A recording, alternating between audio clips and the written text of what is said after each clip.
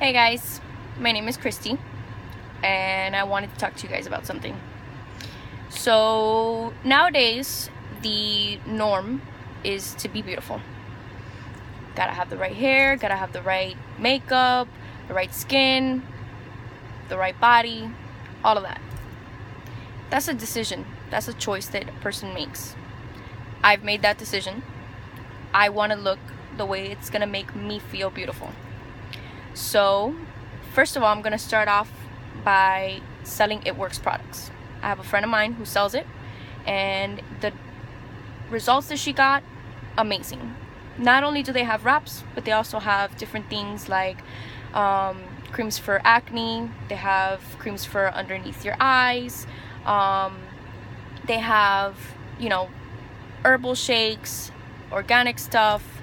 Um, honestly, I think the products work. I haven't tried anything yet, but I've seen the results on other people. I'm going through this with you. So if any customers are thinking, oh, they don't work, thinking this is a scam, I'm going to be going through this with you.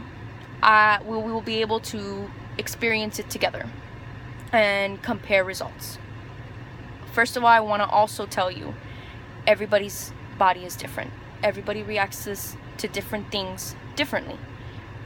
What a medication does to one person might not do to somebody else. What exercise might do to one person might not do to somebody else. Understand that. Don't get upset when you don't get the results that you want. One, you have to put in the effort that you want, the effort into getting what you want. That means exercise, eating a healthy diet. These wraps, these diet supplements, these are not things that you, you know, it's not a miracle. Okay? It's not a miracle pill and it's not a miracle wrap. It's something that you also have to put effort into. It only helps you to get to where you want. Maybe a little bit faster. Maybe it helps you um, in areas that maybe you can't help on your own. Understand that. Everyone will have different results.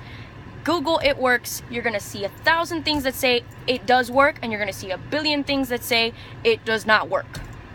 It will work on someone who puts in the effort and their body can handle it. Everybody reacts to different things differently. Get that through your mind.